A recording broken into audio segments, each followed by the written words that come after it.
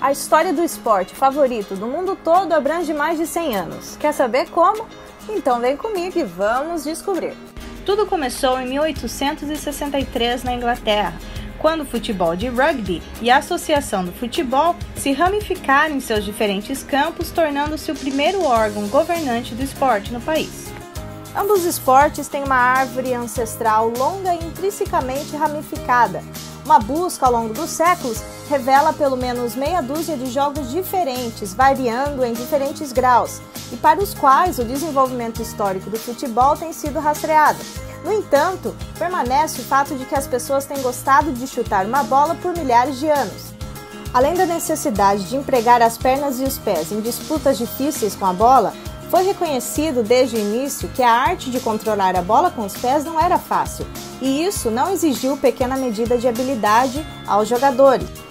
Mas talvez a forma mais antiga do jogo de futebol para a qual há evidências foi encontrada através de um exercício de manual militar que remonta ao futebol nos séculos 2 e 3 a.C. na China.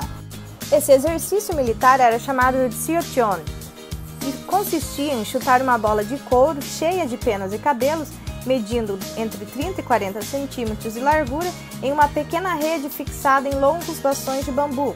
De acordo com uma variação deste exercício, o jogador não podia mirar em seu alvo sem impedimentos, mas tinha que usar os pés, peito, costas e ombros enquanto tentava resistir aos ataques dos seus oponentes.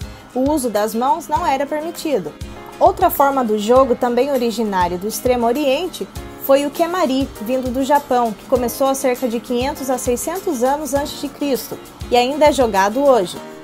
É jogado em círculo, os jogadores têm que passar a bola um para o outro em um espaço relativamente pequeno, tentando não deixar a bola cair no chão. Já na Grécia Antiga nasceu o Episquiros, jogado em equipe bem orientada, cada uma com 12 a 14 jogadores, e era permitido usar as mãos. Apesar de ter sido um jogo de bola, ele foi um pouco violento, pelo menos em Esparta. As equipes tinham as cabeças dos oponentes como alvo. Havia uma linha branca entre as equipes e outra linha branca atrás de cada equipe. As equipes mudariam de bola com frequência até que as equipes fossem forçadas para trás da linha no final. Foi muito praticado por homens, mas também praticado por mulheres. Logo mais tarde foi adotado e renomeado pelos romanos o harpasto, significando no latim roubar, aproveitar, agarrar, no sentido a bola do jogo. Os romanos também se referiam como um pequeno jogo de bola. A bola usada era pequena e bem dura. Acredita-se que o jogo ficou popular por mais 700 a 800 anos.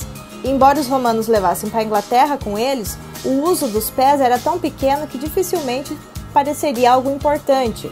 O futebol gerou um enorme entusiasmo entre as pessoas comum na Grã-Bretanha. Também resistiu a repetidas e mal-sucedidas intervenções das autoridades que desaprovavam essa recreação por gerar muitas vezes violência.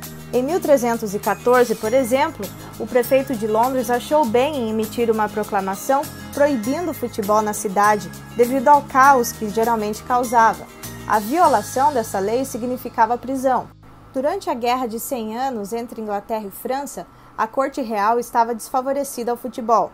Os reis Eduardo III, Ricardo II, Henrique IV e Henrique V fizeram com que o jogo fosse punível por lei, porque isso impedia que seus súbitos praticassem as disciplinas militares mais úteis, particularmente como tiro com arco. Todos os reis escoceses do século XIV consideraram necessário censurar e até mesmo proibir o futebol, mas nenhum desses esforços teve muito efeito. A paixão pelo futebol era particularmente exuberante nos tempos elisabetanos, uma influência que pode ter desempenhado um papel na intensificação da popularidade nativa do jogo veio da Itália renascentista, notadamente de Florença, embora Veneza e outras cidades também tenham produzido sua própria marca do esporte conhecido como calcio. Embora na Inglaterra o jogo era proibido, houve um defensor proeminente que elogiou o esporte.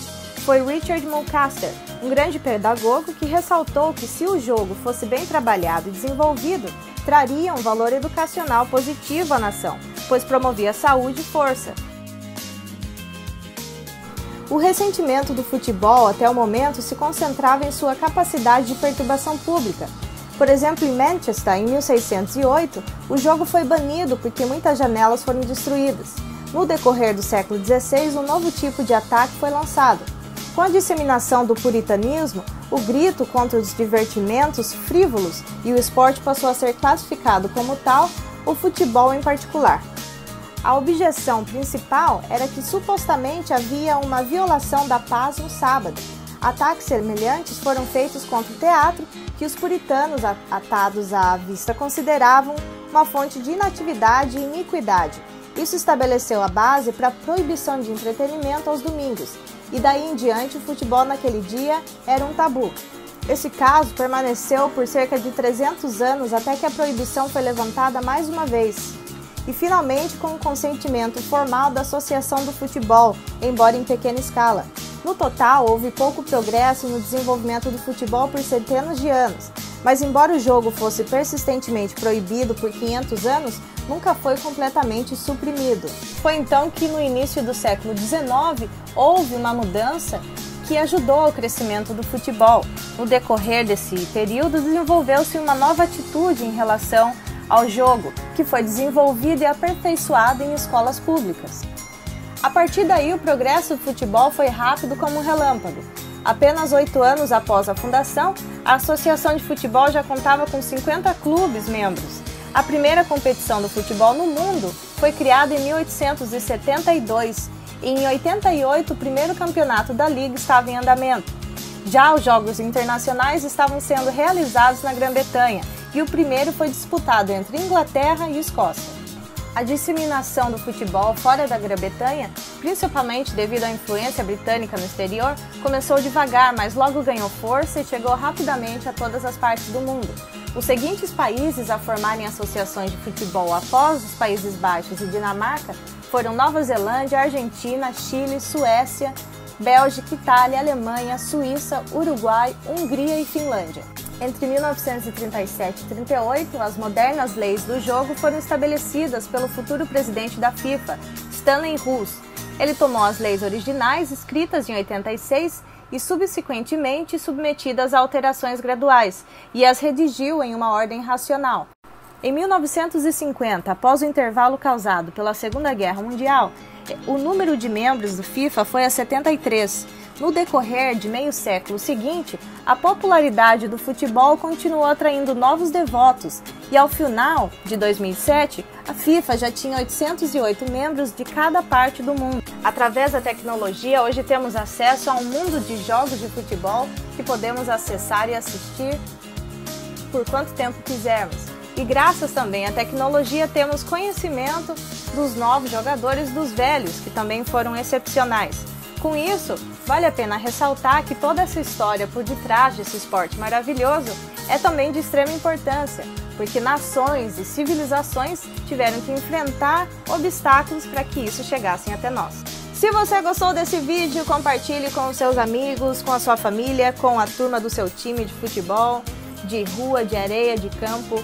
Que vocês tenham um ótimo dia e nos vemos logo logo. Um abraço e até mais!